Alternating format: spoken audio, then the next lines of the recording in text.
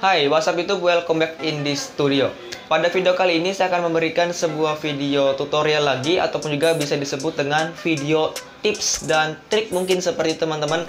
Karena di video kali ini saya akan memberikan sebuah tips bagaimana cara untuk menghilangkan logo pada KineMaster ya mungkin orang lain bisa sebut dengan watermark ataupun juga logo itu sama saja yang terletak biasanya pada ujung pojok kanan atas dari software editing KineMaster. Nah, itu yang dinamakan dengan watermark. Biasanya ditandai dengan yang namanya KineMaster. Nah, oke, okay, sekarang saya akan jelaskan sedikit kenapa dari logo tersebut bisa muncul pada saat kalian mengekspor dari video kalian.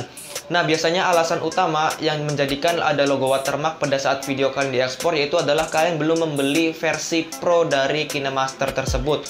Jadi kalian masih menggunakan versi gratisnya.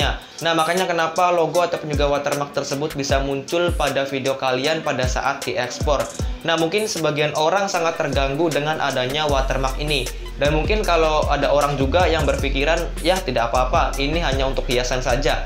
Nah, itu adalah persepsi masing-masing. Tapi kalau menurut saya pribadi, watermark itu sangat mengganggu sekali teman-teman pada saat kalian mengekspor video.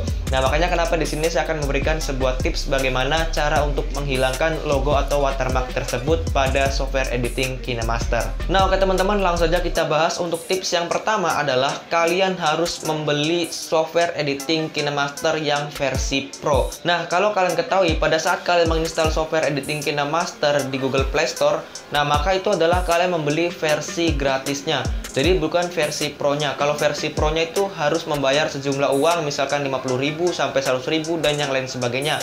Baru kalian bisa memanfaatkan versi Pro dan tidak mempunyai watermark dan fiturnya sudah terbuka semua.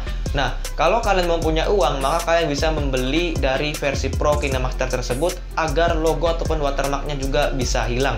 Nah, namun kalau kalian mungkin masih low budget ataupun juga masih belum mempunyai uang untuk membeli versi Pro-nya, maka kalian bisa menggunakan tips yang berikut ini. Nah, maka caranya adalah kalian harus mengunduh dengan KineMaster yang ada pada Google Chrome. Nah, kalau kalian ingin mendapatkan KineMaster dengan versi Pro namun tidak ingin membayarnya, maka kalian harus mengunduhnya melalui aplikasi Google Chrome seperti teman-teman. Nah, mungkin kalau kalian belum mengetahuinya, pada saat video awal-awal saya itu dibuat menggunakan software editing KineMaster semua, full editannya menggunakan KineMaster. Nah, tapi kalian bisa lihat di situ untuk video saya tidak ada yang menggunakan watermark sama sekali. Apakah saya beli?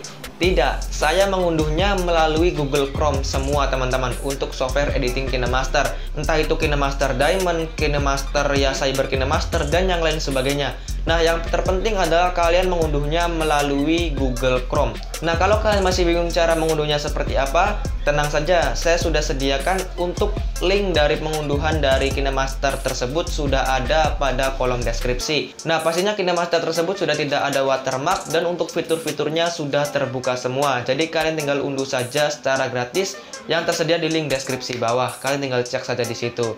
Nah, oke teman-teman, mungkin itu adalah tadi sedikit tutorial dari saya bagaimana cara untuk menghilangkan watermark ataupun juga logo pada software editing KineMaster.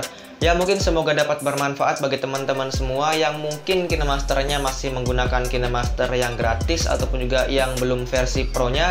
Kalian bisa unduh saja yang versi Pro secara gratis di link deskripsi bawah. Dan oke mungkin segitu aja semoga dapat bermanfaat bagi teman-teman semua yang menonton video ini dan pastinya kalau kalian suka dengan channel YouTube ini jangan lupa untuk diklik tombol subscribe-nya dan pastinya juga jangan lupa untuk diklik tombol like-nya dan share juga ke teman-teman kalian semua. Oke, mungkin segitu aja. Kita akan bertemu lagi di next video. Sampai jumpa.